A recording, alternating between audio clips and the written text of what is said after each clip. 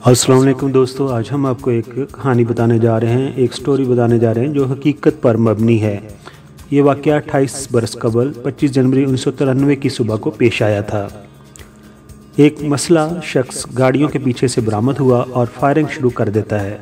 चंद ही लम्हों में सीआईए के दो अहलकार हलाक और तीन जख्मी हो जाते हैं, लेकिन गाड़ी में मौजूद तीन खवतान को खराश तक नहीं आती। हमले के बाद ये शख्स अपनी गाड़ी में सवार होकर फरार हो जाता है।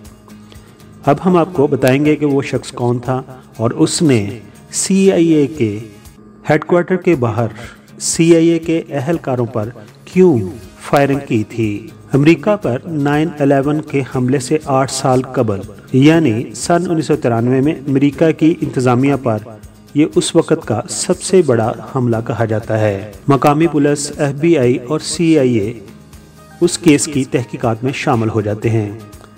और इब्तदाई तहकीकात की बुनियाद ये थी कि यह हमला किसी का ज़ाती फेल था या दहशत गर्दी की मुनज़म कार्रवाई थी। तहकीकात करने वालों को जाय वकूआ से दस गोलियों के खोल और बगैर चली गोली मिलती है, जिससे ये नतीजा अखज़ किया जाता है कि हमला आवर की बंदूक जाम हो चुकी थी, इसलिए एक गोली चल ना सकी।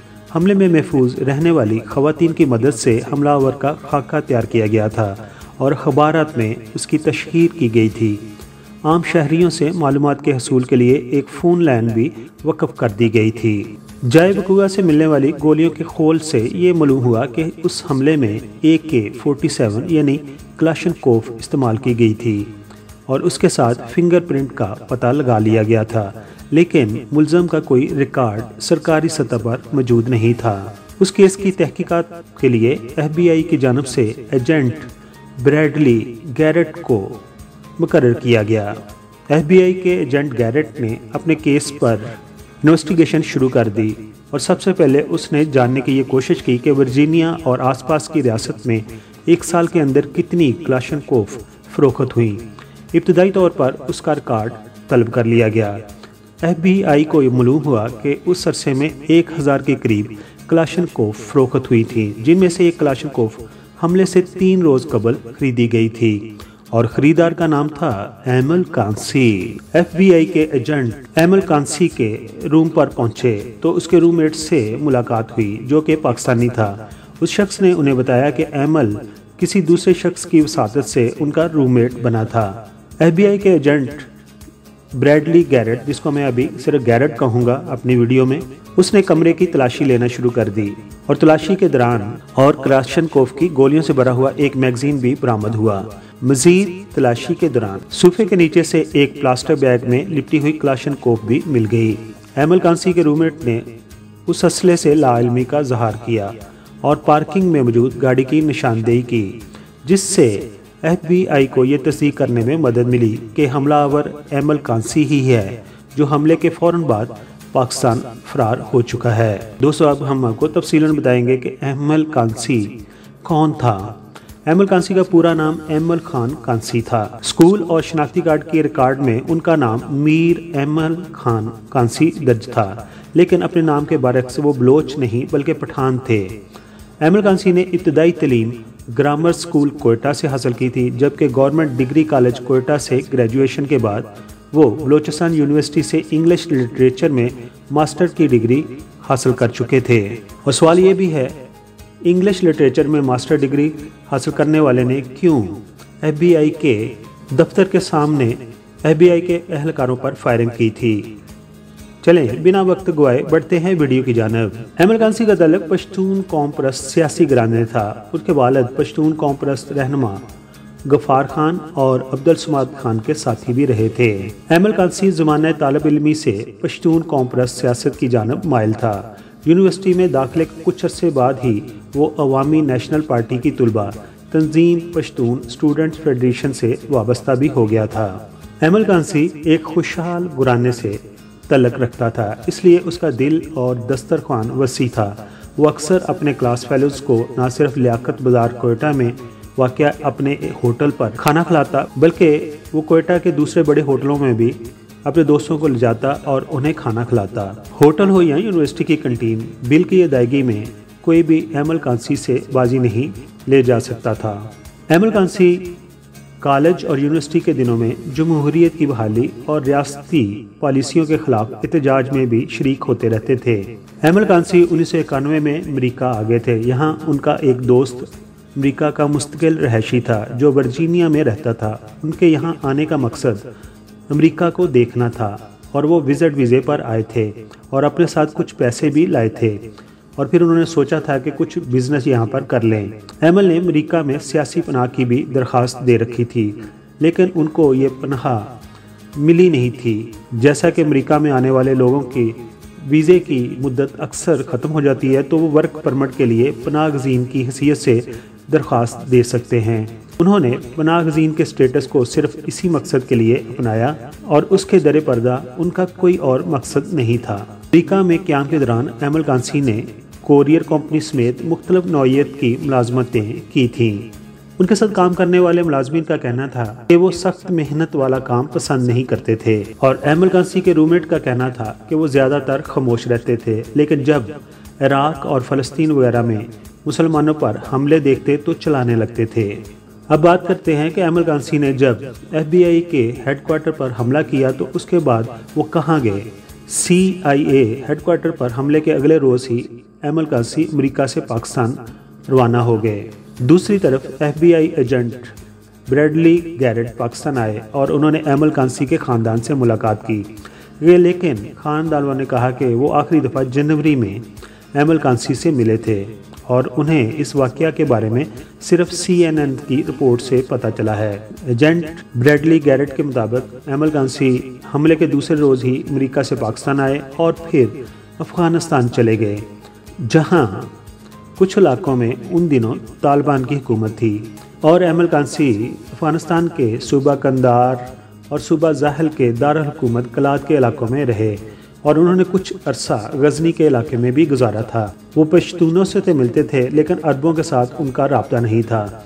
हाँ वो कहते हैं कि एक बार सामा बिन लादन से उनकी मुलाकात हुई थी, जिसके बारे में उनका कहना था, वो उन्हें नहीं जानते थे। कंदार में कई लोग एक शख्स से मिल रहे थे और वो भी आगे बढ़े और उनसे सलाम दुआ की। तो पता चला वो सामा बिन लादन हैं। सीआईए ने एमल कांसी की गिरफ्तारी पर 20 लाख डॉलर का इनाम मुकर कर दिया। और सीआईए के एजेंट गैरेट के मुताबिक, जब मुलजम किसी और मुल्क का शहरी हो तो मामला बहुत कठिन होता है और उसे पकड़ना बहुत मुश्किल होता है। फिर 20 लाख डॉलर का इनाम जो मुकर किया गया वो इस सी के काम आया।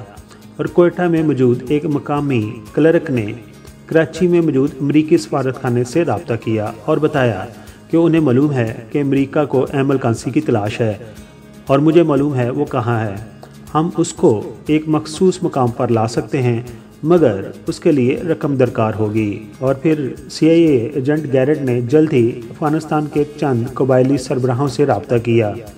और उन्होंने एमल कांसी की तस्वीर और एक गिलास जिसको एमल कांसी ने इस्तेमाल किया था अफ़गानिस्तान में फिंगरप्रिंट समेत अमेरिका भिजवाया।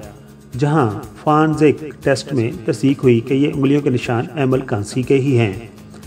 CIA station chief regional security officer state department और एफबीआई ने पाकिस्तानी हुकूमत के साथ बातचीत शुरू कर दी। उन दिनों पाकिस्तान में नवाज़ शरीफ की हुकूमत थी। साथ ही साथ C I F B I A Pakistan की इंटेलिजेंस आईएसआई से रबते में थी। एफबीआई एजेंट गैरेट अपना हेलीकॉप्टर और त्यारा लेकर पाकिस्तान आए थे।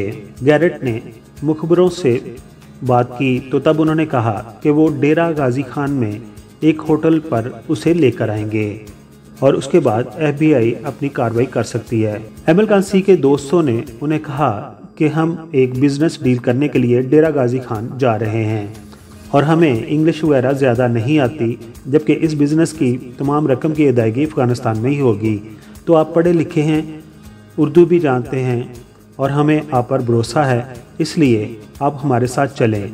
अहमल कांसी ने अपने दोस्तों की बात पर यकीन किया और 15 जून उन्नीस सौ सतानवे की रात को वो डेरा गाजी खान आ गए।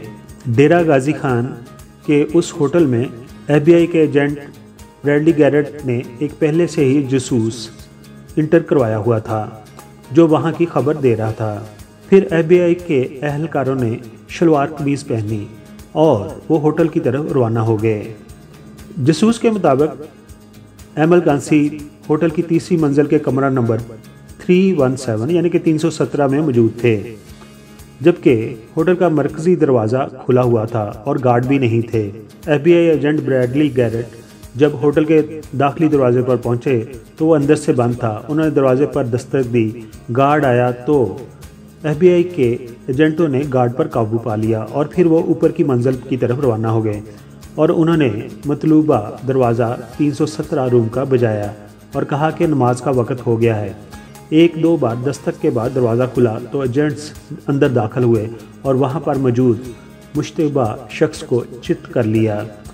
उस शख्स ने मजामत की और कुछ खराशें आईं। उसके दोनों हाथ, हथकड़ियों से बाँध दिए गए और मुँह में कपड़ा ठोंस दिया गया।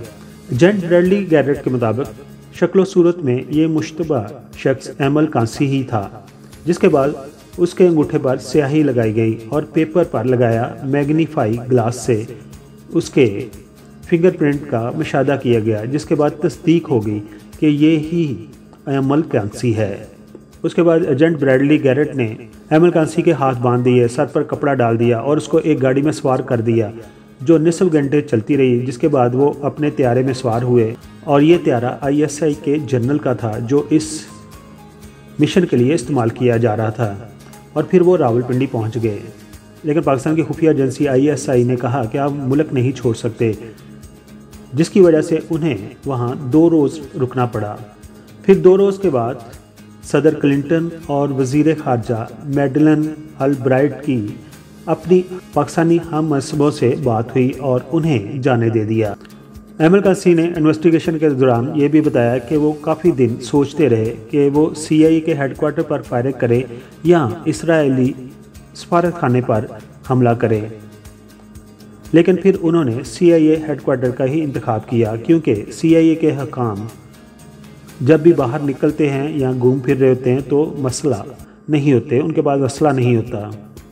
एमल कांसी ने इन्वेस्टिगेशन के ज़रिए बताया कि उन्होंने सीआईए के हेडक्वार्टर पर क्यों हमला किया। वो कहते हैं, अमरीकी त्यारों ने इराक पर हमला किया था और उन्हें सीआईए की मुस्लिम ममालक में मुदाखलत पसंद नहीं थी। एमल कांसी मशर के वस्ता में अमरीका की खारजा पुलिसियों, ख़ासतौर पर इसराइली नवाज़ पुलिसी के ख़िलाफ़ थे। जो उनके मुताबिक मुसलमानों और फसलतीनियों के ख़िलाफ़ थी। एमल कांसी की गिरफ्तारी पर दूसरी तरफ़ पाकिस्तान के शहर कराची में 13 नवंबर उन्नीस सौ सतानवे को यूनियन टेक्सास पेट्रोलियम के चार अमरीकी मुलाजमीन को कराची में फायरिंग करके भी हलाक कर दिया गया था, जिसे पुलिस ने उस वक़्त टारगेट किलिंग करार दिया था। एमल कांसी पर केस चला और उन्हें 14 नवंबर 2002 को जहर का इंजेक्शन लगाकर सजाए मौत दे दी गई। सजाए मौत पर अमल दरामद होने से पहले उनसे, उनके दो भाइयों और एक पेश अमाम ने आखिरी मुलाकात की थी। एमल कांसी की कोयटा में नमाज़ जनाजा में लोगों की एक बड़ी तादाद ने शिरकत की थी। एमल कांसी की गिरफ्तारी और अमरीका मुंतकली के खिलाफ लाहौर हाई कोर्ट में उस वक़्त एक दरख्वास्त भी जेर समात थी। क्योंकि उस वक़्त वज़ी अजम मियाँ नवाज़ शरीफ थे और पंजाब के वज़ी अला शहबाज शरीफ थे। एमल कांसी के चाहने वालों ने कहा था कि पाकिस्तानी शहरी की गिरफ्तारी में मियाँ नवाज़ शरीफ ने क्यों साथ दिया और उन्हें गैर कानूनी तौर पर अमेरिका क्यों मुंतकल करने में मदद फ्राम की? एमल कांसी की गिरफ्तारी और उसके बाद उनकी सजाए मौत के ऊपर हमारे सब्सक्राइबर क्या कहते हैं? अपने ख्याल का इजहार कमेंट्स बॉक्स में ज़रूर कीजिए।